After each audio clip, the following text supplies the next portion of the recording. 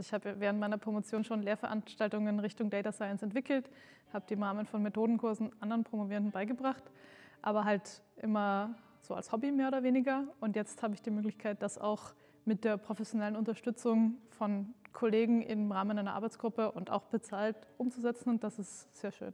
Daten begeistern mich äh, seit mehr als 30 Jahren mittlerweile. Ähm, was ich festgestellt habe, sie sind nicht nur aus einer wissenschaftlichen Perspektive äh, von Interesse, sondern bieten natürlich auch viel unternehmerisches Potenzial. Und genau an dieser Schnittstelle eben aktiv zu sein, ist etwas, was mich begeistert und wovon ich hoffe, auch Studierende begeistern zu können. Das ist ganz großartig. Ich bin gerade ganz begeistert von diesem Austausch und freue mich sehr, dass der Stifterverband das ermöglicht.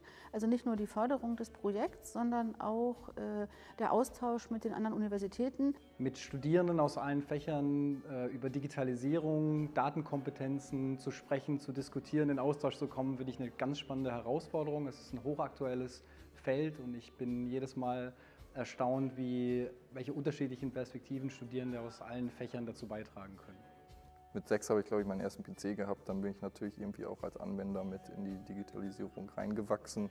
Irgendwo wird einem natürlich jetzt in meinem Master Business Development mit den ganzen digitalen Geschäftsmodellen auch die Relevanz der Thematik bewusst und die Möglichkeiten, die daraus entstehen, auch einfach unsere Zukunft zu gestalten. Und ähm, das den Studierenden näher zu bringen, zu aktiven Gestaltern machen zu können, ist eine unglaublich herausfordernde, aber auch wichtige Aufgabe.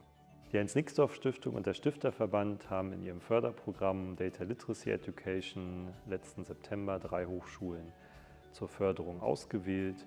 Ähm, diese treffen sich nun heute zum Kickoff auf Einladung der Leuphana Universität Lüneburg hier im Liebeskindbau und äh, tauschen sich aus darüber, wie sie sowohl inhaltlich als auch äh, vom Fahrplan zeitlich her in den nächsten zweieinhalb Jahren des Förderprogramms zusammenarbeiten wollen.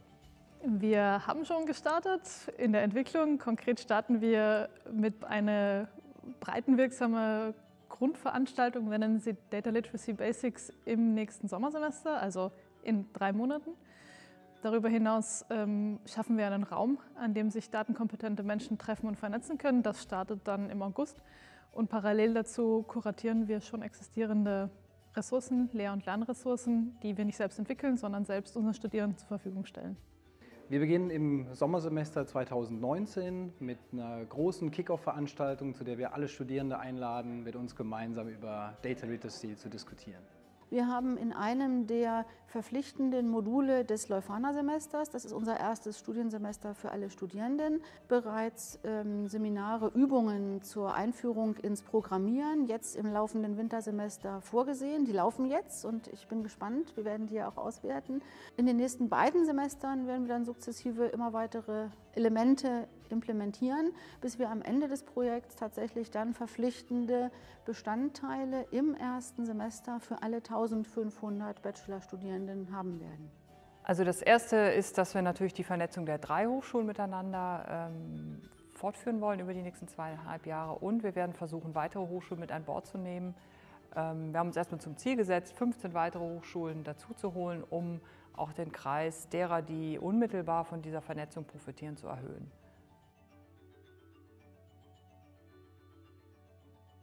Auch wenn die Konzepte erstmal grundsätzlich unterschiedlich gewirkt haben, ähm, ist so, dass wir doch alle mit der Ausgangsproblematik befasst sind, wie erreichen wir Leute, die eigentlich kein Interesse für Programmierung haben, beziehungsweise Data Literacy im weiteren Sinne. Und da eine Herangehensweise zu finden, wie das möglich ist, ist, glaube ich, die Grundlage, die wir in allen Projekten teilen. Ich glaube, so ein großes Projekt geht nur auf Basis der Begeisterung der Studierenden mit tollen Partnern aus Wirtschaft, Verwaltung und Zivilgesellschaft und mit der Unterstützung aus allen Fächern an der Hochschule Mannheim. Also ich glaube, man kommt nicht mehr um das Thema herum. Man wird sich damit beschäftigen müssen. Äh, man wird auch Ressourcen in die Hand nehmen müssen. Es werden alte Inhalte weichen müssen, weil nicht unendlich viel Platz hat in einem Curriculum. Und ja, da wird es äh, einfach ein gewisses Commitment brauchen von oben, um sowas anzugehen. Wir haben ein Rieseninteresse für dieses Thema, nicht nur bei der Ausschreibung unter den Hochschulen, sondern auch in der Politik. Das BMBF hat das in seiner jüngsten Förderlinie aufgegriffen. Wir wollen dieses Thema weiter begleiten auch unter dem Stichwort äh, fachübergreifende Kompetenzen, hier Data Literacy, in die Breite zu tragen, dass Hochschulen das an Studierende aller Fächer vermitteln und begleiten das auch in anderen Projekten des Stifterverbands wie dem Hochschulforum Digitalisierung ähm, mit Vernetzung und eben auch äh, übergreifenden äh, Studien, die den Hochschulen helfen äh, sollen oder ihnen Diskussionsanreize bieten sollen, diese Inhalte äh, auch zügig in die Breite tragen zu können. Ich glaube, dass es gut ist, tatsächlich die Studierenden teilweise auch mal zu ihrem Glück zu tragen und zu sagen, Leute, überwindet euch, also auch gerade die Studierenden aus den nicht so datenaffinen Fächern oder scheinbar nicht so datenaffinen Fächern, ähm, ja, aufzufordern, an solchen Angeboten teilzunehmen. Das ist ja auch was, was wir tun werden. Heute habe ich auch gelernt äh, oder noch, noch, bin noch mal bestätigt worden in meiner Auffassung, dass diese scheinbare Trennung zwischen datenaffinen Fächern und scheinbar nicht so datenaffinen Fächern ja eigentlich gar nicht haltbar ist und dass vielleicht die Studienanfängerinnen und Studienanfänger da äh, ja, Ideen, unzutreffende Ideen haben oder eigentlich von, von ihrem Glück so ein bisschen überzeugt werden müssen. Wir machen was Neues. Wir müssen neue Wege bahnen, die noch nicht so gegangen wurden. Und dafür braucht es Motivation und äh, den Willen, das bisschen mehr zu machen. Wir brauchen Ressourcen, klassisch von unseren Universitäten, damit das auch nach den drei Jahren weitergeht. Ähm, ja, und wir brauchen äh, kompetente Menschen. Also das ist die, die Hauptressource, die wir brauchen. Wir brauchen Menschen, die die Kompetenz schon mitbringen, die gute Ideen mitbringen und die bereit sind, mit uns zusammenzuarbeiten und das umzusetzen. Wir müssen in Kontakt bleiben, wir müssen uns austauschen. Digitalisierung, Data Literacy ist ein Feld, das sich permanent weiterentwickelt. Nur wenn wir miteinander im Gespräch bleiben, können wir auf Höhe der Zeit sein. Wir haben äh, insbesondere bei der Diskussion auch der Inhalte nochmal äh, diskutiert gerade, wo liegt der Schwerpunkt? Ist der eher im Bereich der Programmierung zu sehen? Ist der tatsächlich in der Datenanalysekompetenz? Und da einfach zu lernen, auch wie das an anderen Hochschulen gesehen wird oder an den beiden anderen Hochschulen zu sehen, ähm, hat uns sehr geholfen, auch für uns so ein bisschen zu justieren, was ist eigentlich die richtige Balance in dem, was wir vermitteln wollen. Ich war beeindruckt, wie offen und engagiert die drei Hochschulen hier miteinander heute diskutiert haben über den Start ihrer Projekte, über erste kleine Erfolge, über erstes Scheitern. Und mein Eindruck ist, dass es eine tolle Grundlage ist, um gemeinsam in den kommenden zweieinhalb Jahren an dem Thema weiterzuarbeiten und voneinander zu lernen. Wir empfanden, dass der Austausch heute sehr offen war. Ähm, wir sprachen vorhin kurz darüber, dass bei den Projektpräsentationen äh, man natürlich die schönen Schaubilder zunächst mal sieht.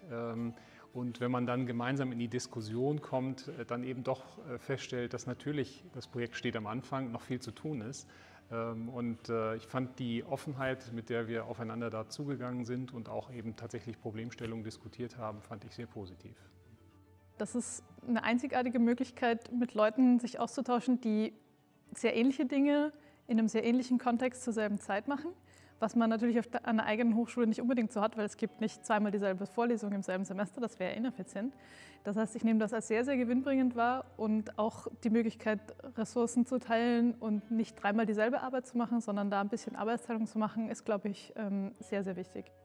Es war ein Austausch auf Augenhöhe, wo irgendwo jedem klar war, dass wenn wir was reingeben, können wir auch was rausnehmen. Also es ist Win-Win für alle Beteiligten da.